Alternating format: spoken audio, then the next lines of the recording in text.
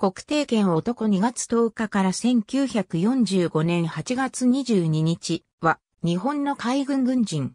太平洋戦争の敗戦を受けて一家4人で自決した海軍少佐である。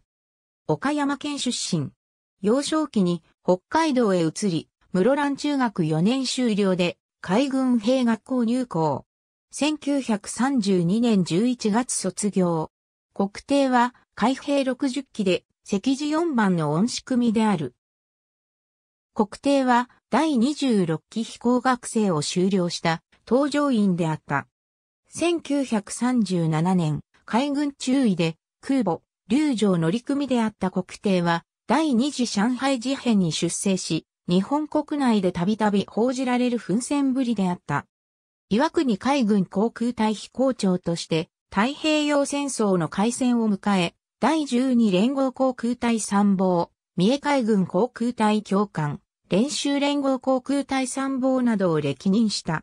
この間に訓練を担当した第13期飛行及び、学生は特攻隊員として多くが戦死している。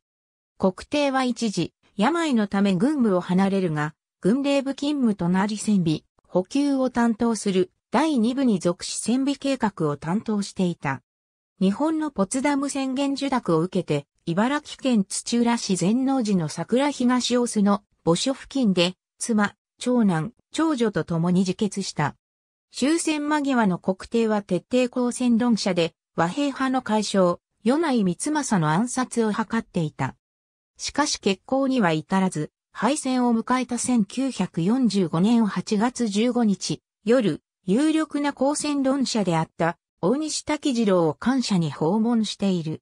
しかし大西は国定らを前に公戦論を述べることはなく、その夜のうちに自決した。国定らは大西の自決をまだ知らなかったが、国定はその夜のうちに同期生に自決の意思を打ち明けている。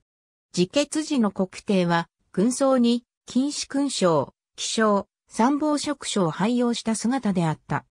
遺書には、妻が説得にもかかわらず、死を希望したことが記され、子を連れて行くことに対し、愚かなる親心を察しし骨符とあった。AB、海軍面白話戦前、戦後編、幻の海軍士官、国定権男少佐、ハット AB、戦士の遺書、国定権男。ありがとうございます。